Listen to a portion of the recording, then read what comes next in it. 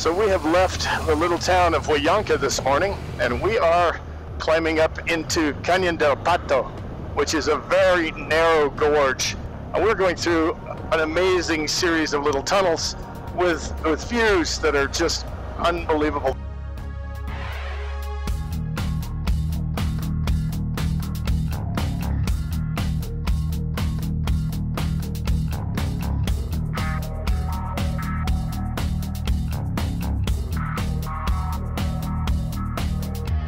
The mountains here, they redefine the word rugged to me. We're in the heart of the Andes at its most rugged, and it is just amazing.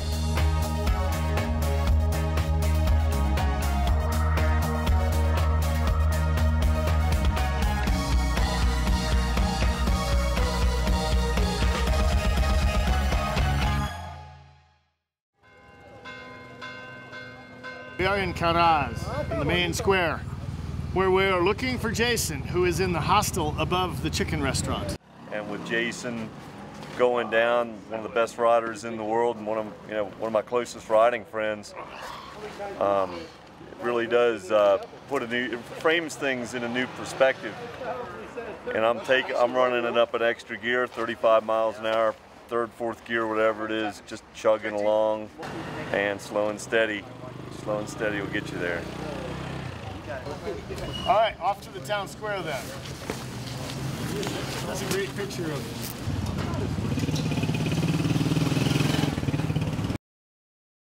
Well, we're about to go see Jason, get an update on how he's doing. There he is, man. Oh, fuck.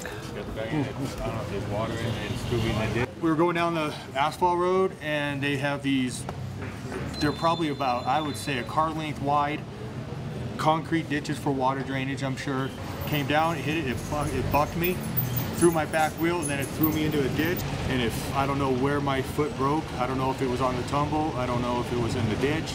I kind of grinded the, the back wheel on the on the edge. Yeah. And when it popped up finally, it kicked me and it landed sideways on the asphalt and just dissected me. Fuck. So Good. what's up, man? But I'll tell you, I want to just, our whole crew has been awesome. You're awesome for us, man. We're gonna miss you, man. No, they, they get there and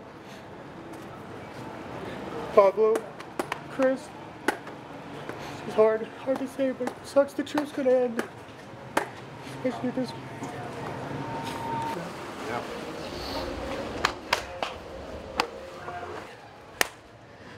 You guys just just learn, man. Just be safe. These roads, these roads aren't like Phoenix or Arizona, the states. There's just tricky shit everywhere. We came They, in. got, they didn't charge you anything? No, zero. It's a public hospital. Just for the medicine. Two bucks, two dollars. For the consultation, for all the treatment, everything. Wow. we'll carry on and uh, we'll take Jason with us in spirit. He'll be celebrated the whole way, and there's no doubt in my mind. And uh, I'm gonna, I'm gonna miss him a lot for sure. He's a big part of the reason I'm here. It's gonna be tough. You know, we, we talk all day long in the in the in the, in the cenas and and um, you know talk a lot about my life and raising a daughter and, and the riding together. I mean, he's my he's my wingman, so it's gonna be. Uh, yeah, it's going to be interesting, but all part of the story and part of adventure and part of the growth that you have through such a journey like this that is so fast and so rapid. Um, you know, one day to the next, you just don't know what you're into, and so a broken ankle on an epic trip, yeah, it's sad, it sucks, it hurts, but on the grand scheme of things, man, we're all we're all doing well, so it's all good, man. Life is good. We're good. The bonds we're making, the friendships we're making, the tragedies we're going through is all part of the ride, man. It's all part of the ride, and it's beautiful.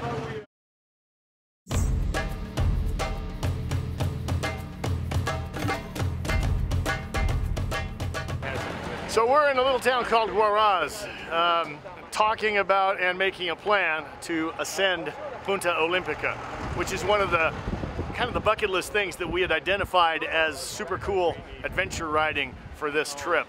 Um, the weather up there doesn't look really good right now, so we're uh, kind of anticipating and not really knowing what we're getting into right now. I think we've got some frazzled nerves, including mine probably. We- You know, we're trying to keep a pace, trying to balance everybody's needs. Not everybody's the same rider. Some go fast, some go slow, want to take photographs, some want to explore the archaeology, some don't. Some want to make a movie, and that's sort of part of the whole promise for the deal. And all those things don't, we're trying to get five pounds into a two pound bucket, basically. I think we have to figure out what to do about it. Our group is a little scattered, discombobulated. We've had some communication breakdown, I think would be a mild way to put it. We've got um, Chris Van Dyke, you guys hung you at the gas station. We're downtown Makara. From Colin, come back to Caraz. We blew past the van. From Chris Van Dyke, we're on our way. And then from Colin, I will head to Caraz. I'm not feeling on top of my game today. See you guys later. Things are starting to break down a little bit. I think we need to come back together, have some conversation, and uh, figure out how we're going to move forward as a community and as a team. Given that we've had some challenges with group riding in the past, we're going to have a little meeting before we head up. We are absolutely going to stick together. It'll be a tight group. We're going to communicate constantly. We'll stop occasionally, make sure everybody's doing all right, uh, but we're going to stay together on this one. But I'd like to throw in the hat that I would really like to take the off-road route over that pass. That's something I desire. If we had started off early enough in the day There's without these other challenges, I'd have been all over it. But at this point in time, it's one in the afternoon. We'll stay unpaved as much as we can. We'll get as high as we can. We'll explore that dirt leg that comes in on this side and call it good. So let's uh, let's find a little bit to eat. Let's get the hell up there. Let's see what it is.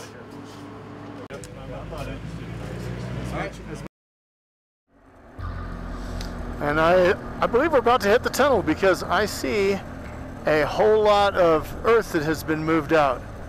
Punta Olympica. Well, here we are. We've entered on the high side of Punta Olympica, the highest tunnel in the world.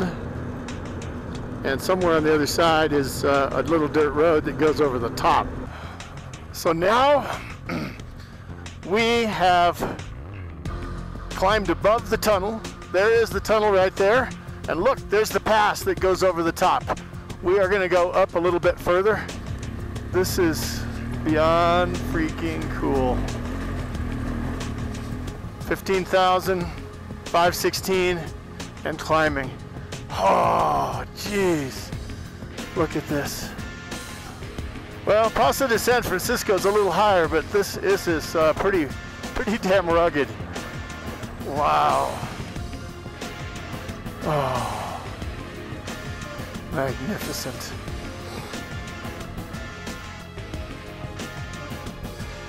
There's Tiberio. Yeah, buddy. Perfect.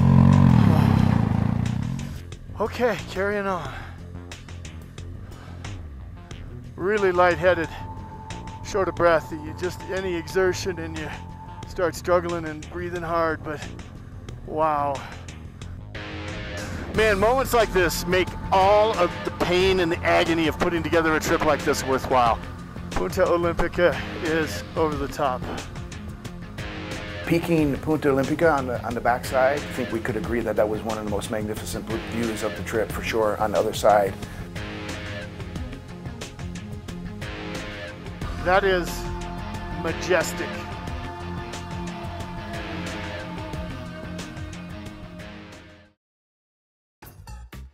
Riding in Lima at rush hour, man, it's game on. And you've got to get it up to want to do it.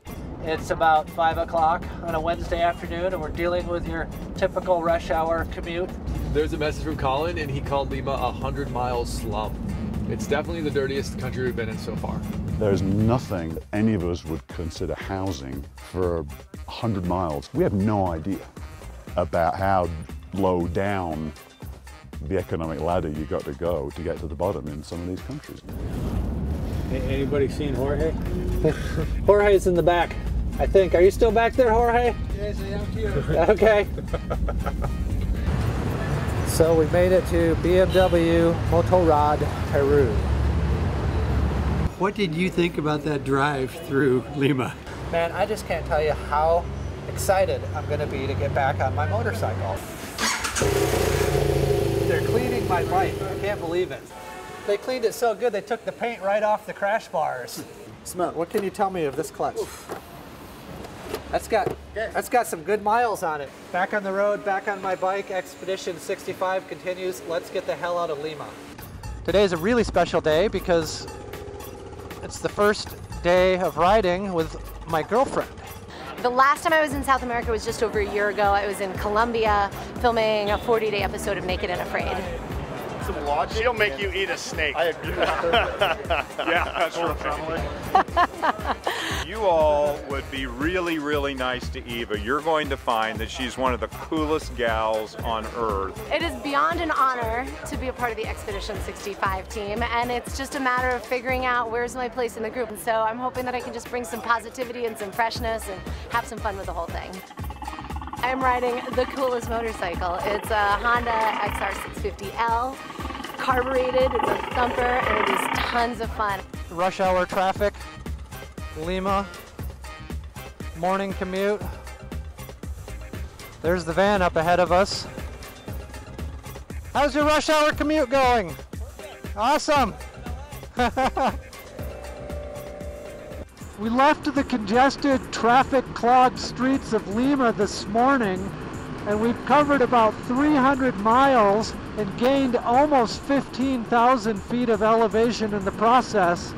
And it's absolutely amazing the transition in the landscape and the ecology during that time.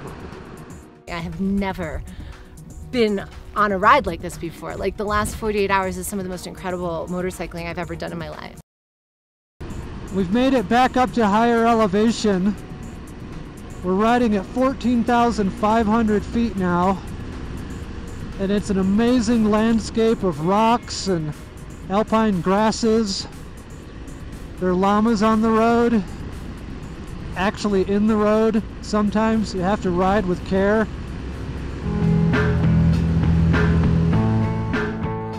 We have experienced every type of road. Generally speaking, they're, they're investing in infrastructure. For all we think about them as third world developing countries, developing means they're doing development. So I think all over the place we've seen roads that have gone from being just absolutely horrible, which we like riding on because they take us to interesting places, to first-rate Swiss-style hairpins through the mountains. We've seen everything. The Peruvian roads, we've been trying really, really hard to find a straight road. We're not finding any. I love roads like this that are twisty and smooth with good views in every direction and lots of things to look at. Farmers tilling their fields, animals, livestock. It's really colorful. The weather's fantastic and it's just a beautiful day to be riding a, a GS in a place like Peru. Last night we uh, stayed in a town called Ayacucho. You couldn't drive from Ayacucho to Cusco, where we're going next, on tarmac roads until 2014. There was a period when Ayacucho was, you know, occupied by communist terrorist rebels. So I'm sure that didn't incentivize the government to build great infrastructure. But um, so it's you know slowing coming. But yeah, some of these towns are were not connected till very recently. The van got to the camp before we did. We rolled in at a decent hour. We were able to set our tents up in the in the daylight. Oh, the camping setup is actually phenomenal. There's a the fold-out table that comes uh, with the trailer. It's got a, a, sink with hot water. It's got a three-burner stove. There's an awning on the trailer itself that will fold out, give us some shelter from sun and rain. Uh, we have a couple extra stoves and pots and pans, and it's actually a pretty sweet setup.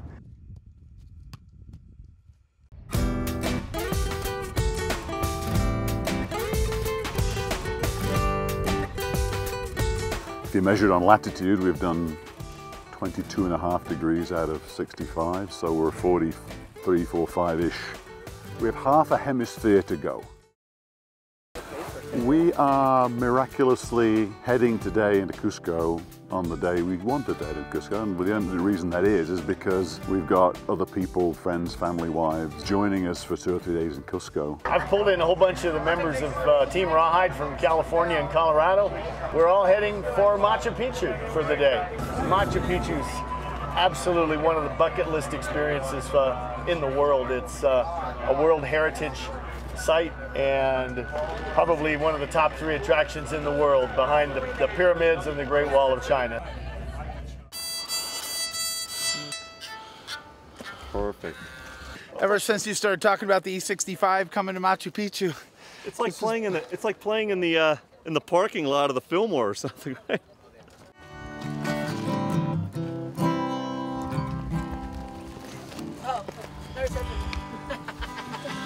Playing music with Owen, whenever we have a gig, it gives me something to look forward. Owen is the most talented musician I've ever played with.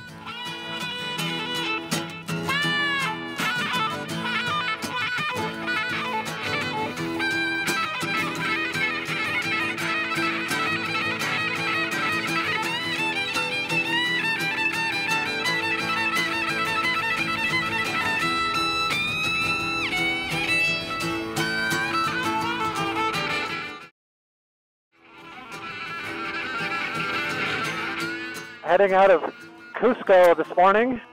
Looking forward to this day of riding with the Rawhide team. I think there's about 23 motorcycles total today on the road. It's going to be awesome. Well, the last 48 hours have been pretty interesting. We left Cusco with the intention of more or less staying together as a group, but uh, that didn't work out so well. Up at 16,000 feet as we came into Chivay, which was our goal for the day yesterday, it was 24 degrees when I came through at like 7.30 at night. Today, we're on our way from Chivay to a place called the Colca Canyon. Colca Canyon makes the Grand Canyon look like a little, uh, a little gash in the dirt. Uh, Colca Canyon is the second deepest place on Earth. Um, the deepest place is not far away from Colca Canyon, but it's much less accessible. So we're going to settle for Colca.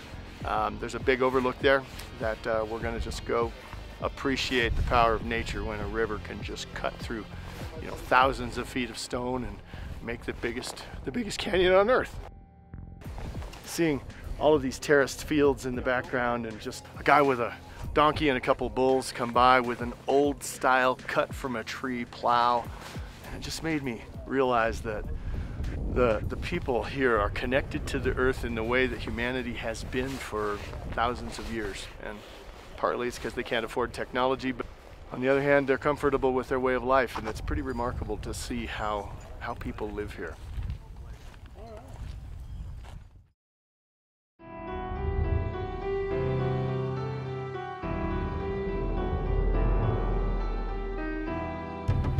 Little bit of night riding for Expedition 65.